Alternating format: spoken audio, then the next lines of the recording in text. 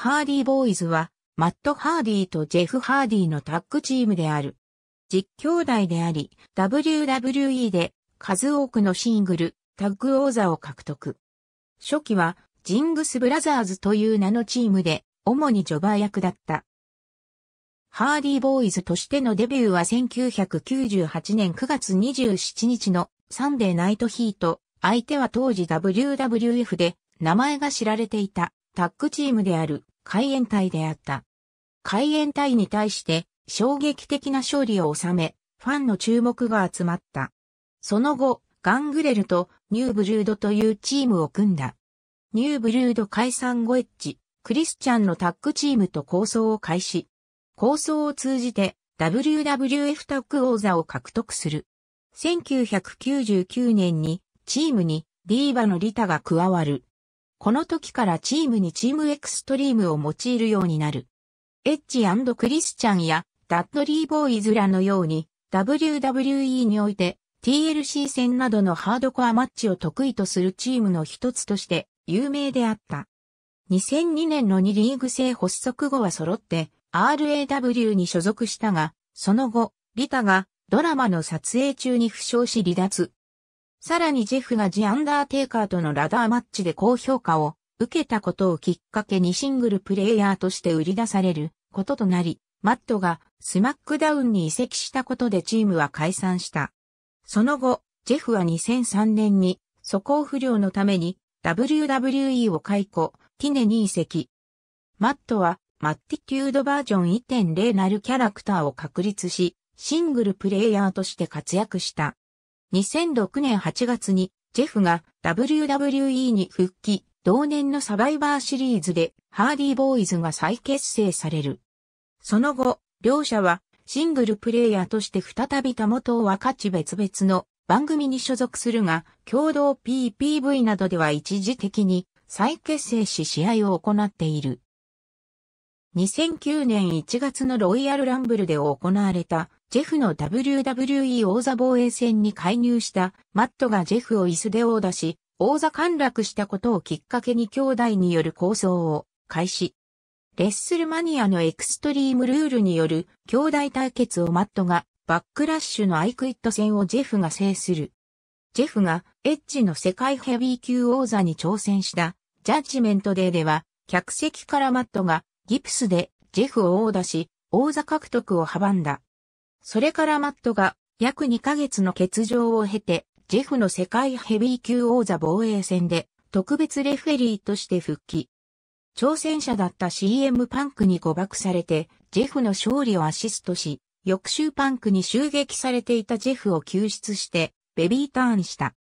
その翌週、ジョン・モリソンと共にハーディーズとして試合に臨んだが、その後にジェフが CM パンクとの敗者対談マッチに敗れたため、後の復帰まで WWE でのハーディーボーイズは活動休止となった。2017年4月2日のレッスルマニア33で WWE に復帰し、WWE ロータッグチーム王座を獲得。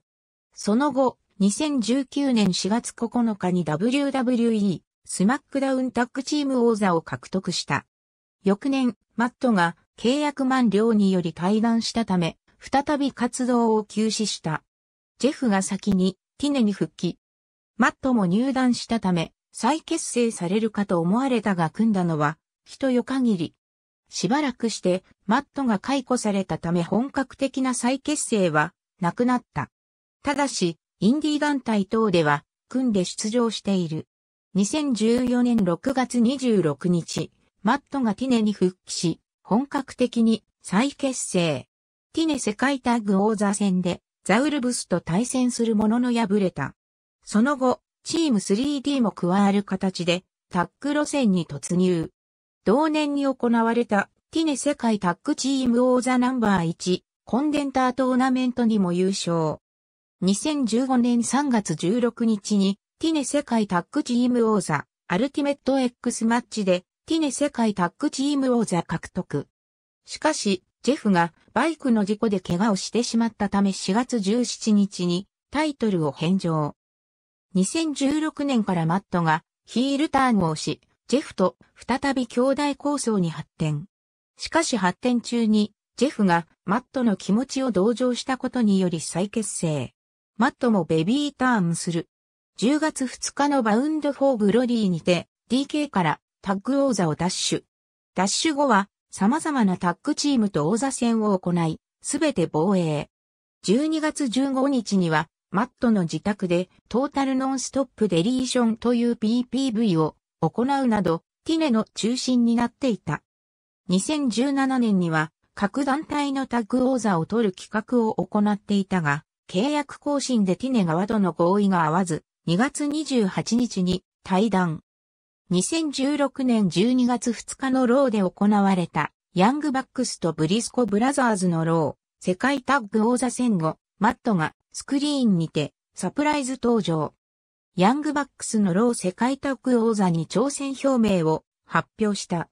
2017年3月4日、ヤングバックスとリオラッシュ &J ホワイトのロー世界タッグ王座戦後に突如リングに登場。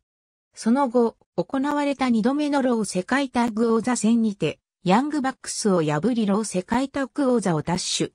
さらに試合後、 ROH と契約したことを発表。ただし、ジェフ曰く短期契約。4月1日、ヤングバックスとのラダーマッチに敗戦し、王座陥落。ポエトリーインモーション。ありがとうございます。